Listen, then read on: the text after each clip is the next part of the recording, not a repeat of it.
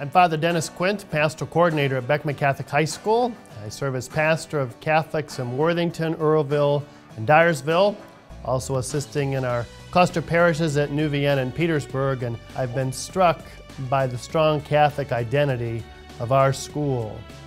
I've had the opportunity to minister to young people in Catholic high schools in Cedar Rapids and Dubuque and Waterloo, and I can tell you without a doubt that the education and formation that our young people receive in their Catholic faith here at Beckman is top shelf. My name is Pat Meade, and I am honored to serve as principal of Beckman Catholic High School. This is my sixth year in this position. We've got something very exciting going with this capital campaign that we are proposing. The thing that it does is it ties the past of Beckman Catholic to the present and looks into the future. We have to seek to make a difference in the lives of our young people in these formative years. As they sit in our classrooms and walk our hallways each day, we have a unique opportunity to infuse our values and our morals into their hearts and into their minds. Although I, as priest, cannot spend as much time in these classrooms as I would like, I am confident that these people, these faculty members, are doing a wonderful job of handing on our Catholic faith. What better place to invest ourselves, our time, our talent, and our treasure than into Catholic education, especially here at Beckman Catholic. Nothing would say more that the future of Catholic education at Beckman Catholic High School is going to be sustained than having a large endowment in place. So we, we are looking at that as our number one motivation in this capital campaign. It's critical for us to establish a substantial endowment so that we can leave the principal amount of those funds stable and we can take the interest that is earned off of those funds so that the Trailblazer spirit will continue to endure for many, many generations. Very proud to be part of this, this mission that we're on, but also we, when we look back into our past, the history, the things that people have done to first initiate Beckman Catholic High School and then to keep it going.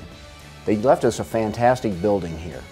The, the structure itself is still very sound and it's in good shape, but it is 50 years old and it could use some renovations. The flooring, some of the plumbing, the roof, the locker rooms and restrooms all show about 50 years of existence here and they're in, they're in need of being improved. Lastly, one of the most exciting parts of this capital campaign is new additions to the building. We're looking to improve our security up front by moving some office space up there. Probably most exciting though is, is, the prospect of adding a new chapel at the very beginning of the building. Doing this for a couple of reasons. One is that we want to make sure that anybody who enters this place that they know right now and then that they are in a Catholic setting. And I think that's so important. And also offering 24-7 adoration.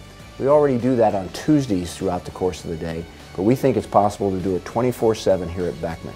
When people enter this building, they will know that they are in a Catholic atmosphere. Also included in this would be a multi-purpose room. We have a number of needs for this right now. It's amazing how something like this could help our academic day. We have kids that come to practice as early as 5.30 in the mornings and sometimes stay until 9 or 10 o'clock at night. You might not realize this, but it weighs heavily on the kids during the course of this, their academic day. But also we have a number of classrooms that look for space to go. Sometimes our physics classes are looking for a gym size area to go to, to with some of their experiments. Also, this is kind of a community area. There are a number of people who come to use this, this facility, mostly the gymnasium after hours. And we'd like to have a place in which we could expand that. Also, we think it opens the door to a number of people who say, hey, this is my place. Beckman Catholic is where I want to go to school at. And we would look forward to, to making that available to them also. We know that by meeting these goals of increasing the endowment and updating our facilities, we'll continue to have a first-class opportunity for formation right here in rural Iowa. Part of our journey in this world is to see what we can do to help others. I believe this, that Beckman Catholic has an impact on the world. Certainly it impacts our students and it impacts our families on a daily basis. But eventually those students go forth and they pronounce the Word of God they go forth and live their lives a certain way. And I think Beckman Catholic helps families form that in such a positive way. On behalf of Father O'Connor and Father Dean and the other priests who serve in our system, the students that are served in this wide area from Guttenberg down to Temple Hill, from Manchester over to Peosta, And from Rickardsville down to Worthington, I thank you for your kindness and for your generosity and, and hearing our call and praying over it and helping us to continue to move blazing forward. Anytime I walk into any of the schools around this area, any of the churches, I am in awe. What did these people give up? What did they do to make this all possible?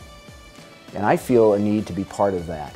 I hope you do too. I hope your belief in, in Beckman Catholic and in the Catholic faith is, is something that will instill into you a, a feeling that I need to do my part now. I want to be part of this. So right now, we're asking you to be part of this, to keep moving forward, to keep Beckman Catholic vibrant, to keep it a place in which young people can come and become all they can be, and in their faith, and to take that forward into the world. Thank you once again. God bless.